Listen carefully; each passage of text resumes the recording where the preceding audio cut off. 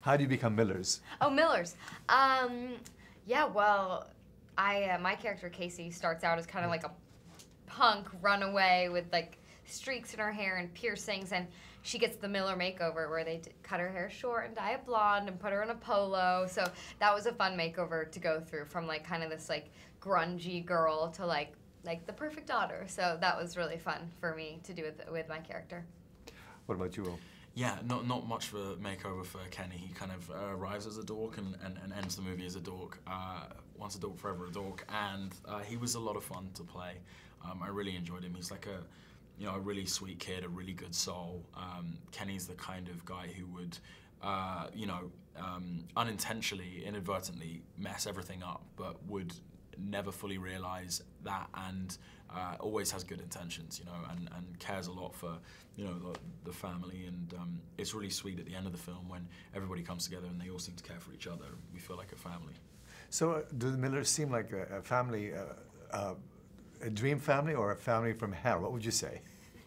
I think they're kind of um, the perfect mix of crazy but loving, and you kind of see that transformation where they're kind of everyone from opposite ends who come together and realize they really care about each other, and they they all want the same thing. You know, they want they want to have people that care about them, and they want to, I think deep down like have a have a home, you know, because they're all kind of from all over the place and don't really belong anywhere. So I think they feel like they belong with each other by the end, and there's something really special about that.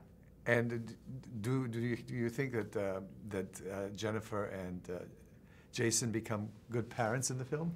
Yeah, absolutely. I Yeah. think they take on like their parental responsibilities so well, and uh, there's a really sweet scene, which is one of my favorite scenes, uh, where um, Emma uh, ends up going on a, on a date with uh, this this kid at the fun fair, and Jason and, and Jennifer get immediately parental with her and Mm-hmm. very kind of like very protective over her, and it's a really sweet moment where you see Yeah. Mm-hmm. your character kind of really love that, you know, and really feel uh, comforted by Yeah. that. So it's a lovely scene by the three of them.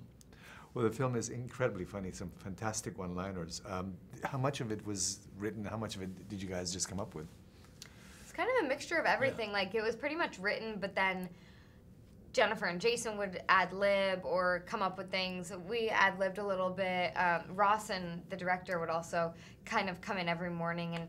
He, well, as we would shoot, he would throw out jokes for us to say and stuff like that. So it was really like one big collaboration between everyone, and um, and that that was that was really fun because a lot of stuff in the movie is stuff that wasn't in the script, and then um, you know, there's just stuff that came right off the pages that was hilarious.